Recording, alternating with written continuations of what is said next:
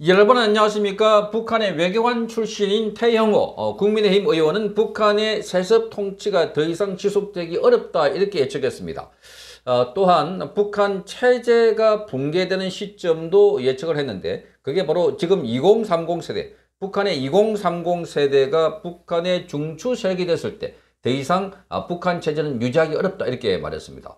아, 지금 2030 세대는 주로 인터넷이나 아, 이런 어, 외부의 정보가 많이 들어가 있기 때문에 이들 세력이 세력의 맹목적으로 일방적으로 충성을 강요하다가는 무너질 것이다. 그리고 이 세대들이 북한의 중추가 됐을 때 주로 2030이 중추가 된다고 하는 것은 이제 40대, 50대 그러면은 앞으로 20년, 30년 안에는 북한 체제는 반드시 무너지게 돼 있다. 이렇게 예측을 했습니다. 태영호 의원은 15일 공개된 시사 저널과 인터뷰에서 북한 붕괴 가능성에 대해서 지금 당장은 아니다 이렇게 말하면서도 현재 2030 세대가 중추 세력이 됐을 때에는 붕괴가 된다 이렇게 단정적으로 설명을 했습니다. 자, 북한의 2030 세대는 어, 모든 교육이 먹혀들지 않는 세대라고 말했습니다. 자, 2030 세대는 지금 북한이라는 국가와 체제에 대한 신뢰나 믿음이 전혀 없다 이렇게 말하고 있습니다. 자, 이들이 바라볼 때, 젊은이들이 바라볼 때 북한의 김정은 체제의 이런 통치 방식은 전혀 먹히들지 않는데, 그런데 2030 세대들은 전체 분위기가 억압적이기 때문에, 그래서 어, 지금은 그냥 침묵하고 있다. 이런 이야기입니다. 자, 그래서 이 2030 컴퓨터 세대가 앞으로 북한의 중추 세력이 됐을 때 북한은 무너질 수밖에 없다. 이렇게 설명했습니다. 그리고 어, 김정은 동생인 김여정이 후계자가 될 가능성에 대해서는 김정은이 급사해서 유고 상태가 된다면 과도기로서 제2인자인 김여정한테 넘어갈 수밖에 없는 시스템이다 이렇게 말했습니다. 그런데 이 김정은에서 북한 세습 통치가 끝날 것이라고 이게 전방했습니다.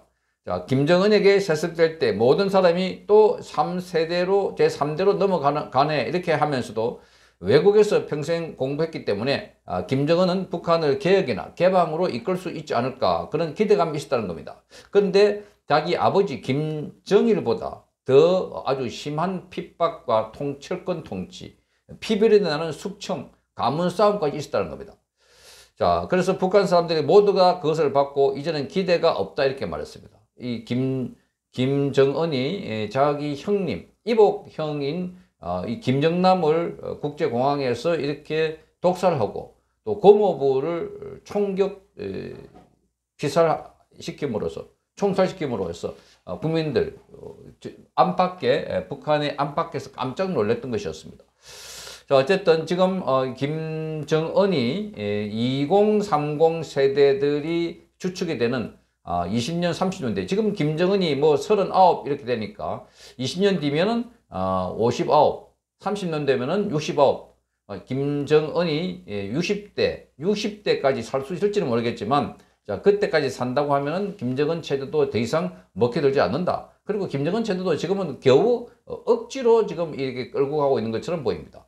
어, 이 북한 어, 이 주민들에게 에, 이 인권 탄압, 폭압 이걸 통해서 공포 정치를 하기 때문에 겉으로는 마구 지지를 받는 것처럼 보이지만 어느 한 곳에 균열이 생기면 쫙 이렇게 도미노처럼 무너질 게 아닌가 하는 생각입니다. 최근에 김정은의 심리 상태에 대해서는 2022년 하반기가 자기 뜻대로 흘러가지 않아서 김정은이 대단히 불안하고 조급한 상태라고 이렇게 분석을 했습니다. 어, 태영호 의원은 북한이 미사일과 무인기 도박을 감행한 것은 어, 항상 한국의 새로운 정권이 들었으면 임기 초반에 기선을 제압하기 위해서 그러는 것이다. 이렇게 분석을 했습니다. 윤석열 대통령이 취임하고 나서도 같은 패턴을 보인다는 겁니다. 그런데 윤석열 대통령은 거기 흔들리지 않고 오히려 한국이 비례 대응에 나서고 있고 어, 한미 확장 억제력도 강화했다는 겁니다. 여기서 김정은이 심리적으로 흔들리면서 불안감이 생긴다 하는 겁니다. 그러니까 지금은 김정은이 매우 불안하다. 어, 그것도 어, 김정은이 계속해서 미사일을 쏘거나 여기에 무인기를 보내는 등의 도발을 지속적으로 하고 있다는 데서 잘 알 수 있습니다. 그런데 이 김정은 불안 심리를 엿볼 수 있는 결정적인 장면에 대해서는 지난해 12월 30일 당 전원회의에서 국방상, 국방부 장관격입니다. 국방상, 그리고 참모, 총참모장, 민방위 부장 등 군부가 100% 물갈이 됐다고 합니다. 모두 윤석열 정부가 들어선 뒤에 들어온 사람들인데 6개월 만에 다 날린 거라고 합니다. 그러니까 국방 라인에 있는 사람들 그것도 윤석열 정부가 들어서고 난 뒤에 새롭게 라인업을 시켰는데 6개월 만에 북한에서 다 날렸다고 합니다. 최근 북한의 도발이 줄어든 것에 대해서는 12월에 군부의 핵심들이 다 바뀌었으니까 새롭게 들어온 이들도 이전 사람들이 6개월 하고 다 갈렸는데 우리는 어떻게 해야 할까?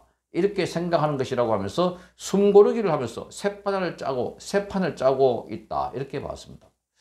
그러니까 아, 이 국방 라인을 6개월 만에 다 교체를 했다 하는 것도 어, 이 윤석열 대통령의 이 대응이 어, 북한의 예측과는 완전히 다르다. 과거에 이 문제있는 뭐 미사일을 쏘거나 이러면은 그냥 큰 대응도 하지 않고 뭐 유감이다 정도로 끝났는데 미사일을 쏘면은 우리도 쏘고 어, 저들이 북방 한계선, 남방 한계선 밑으로 쏘면 우리도 그 위쪽으로 쏘고 이렇게 하니까 그야말로 비례해서 대응하니까 김정은으로서도 아주 어, 죽을 맛인 것입니다. 이렇게 대응하다 보면은 자 북한은 경제력이 취약하기 때문에 자, 이렇게 군비에 모든 에너지를 쏟고 나면은 결국 무너질 수밖에 없다. 과거에 소련이 무너진 것도 바로 그런 식이었습니다. 레이건 대통령이 미국과 이 군비 경쟁을 했는데 그때 군비 경쟁 같이 했던 미국으로서는 어, 소련으로서는 나중에 힘이 다 붙여가지고 대응할 수 능력이 안 되니까 그래서 무너졌다는 이야기입니다.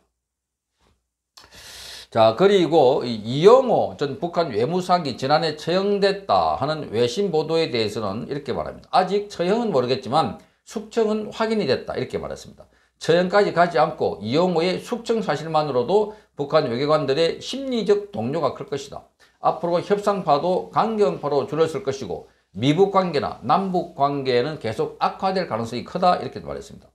자, 김정은이 강경하게 가려고 할 때 어느 누가 대화로 풀어야 한다고 얘기하겠나. 이러한 상태가 상당 기간 갈 수밖에 갈 수 있다 이렇게 말했습니다. 이 이영호는 어, 이 외교 전문가입니다. 특히 북 그 미국과의 외교에서 오랫동안 역할을 해왔던 인물이고 아주 어, 이그 과격한 게 아니라 아, 이 온화한 그래서 대화를 중시하는 그런 인물이고 그런데 이 이영호가 뭐 처형이 됐든 또는 어, 이 숙청이 됐든 이렇게 되면은 그 안에 내부에서도 이제 이영호까지 들게 되면은 북한 체제에서 더 이상 뭐 대화를 하자거나 어, 또는 합리적인 의견을 내는 것은 불가능하다.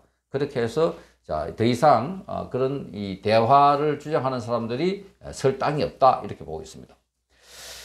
자, 그리고 이 김정은이 지금 중년의 위기를 겪고 있다 하는 외신 보도가 있었는데 여기에 대해서는 그러한 위기가 있을 수 있다고 본다. 이렇게 태형호 의원은 말했습니다. 김정은이 실제로 혼자 술을 마시는 것을 많이 한다. 혼술을 많이 한다고 합니다. 상당한 외로움과 우울증에 시달릴 수가 있다. 또 김정은 사진을 보면 살이 쭉 빠졌다가 늘어났다가 하기도 하는데 이것만 봐도 식생활이 절대 되지 않는다는 것을 알 수 있다는 겁니다. 그야말로 폭주를 하고 대단히 불안한 심리 상태의 표현이다. 이렇게 말하고 있습니다. 어쨌든 지금 어, 북한도 북한도 뭔가 강하게 견고하게 한 것 같지만 안에는 크다란 변화가 있다는 겁니다. 시간이 사실상 일을 하고 있다는 거, 시간이 뭔가 어, 작업을 하고 있다는 거, 김정은도 모를 것이다. 그게 대표적으로 2030 세대들, 북한에서 지금 본격적으로 컴퓨터 세대들이 이 세대들이 지금 북한의 권력 전면에 나설 때는 북한 체제가 무너진다 한 겁니다. 어, 그 사이에 권력뿐만 아니라 중수적인 역할을 할 때는 무너진다. 자, 그게 앞으로 2, 30년, 많게는, 많게는 2, 30년. 그리고 어, 북한에서도 지금 김정은 이 3대 세습 체제는 사실상 끝난다. 그 다음에는 지금 뭐 딸을 내쉬고 있는데 이 딸도 어릴 뿐만 아니라 아, 초등학교 3학년 정도, 10살 정도밖에 되지 않을 뿐만 아니라 딸을 계속해서 들고 나오는 것도 어, 좀 수상한데 그런데 이미 북한의 이 김여정이가 항상 김정은 주변을 다니고 있는데 급변 사태가 생기면은 바로 김여정이 권력을 차지할 수 있도록 하기 위해서다. 그런 측면에서 보면은 3대 세습에서 끝이 날 것이다. 이렇게 얘기를 했습니다. 자, 북한 어, 반드시 언젠가는 끝이 날 텐데 그 어, 언젠가가 빨리 올 수도 있고 늦게 올 수도 있고 어, 도둑같이 임할 수도 있으니까 항상 대비를 해야 할 걸로 보입니다. 성창경 TV였습니다.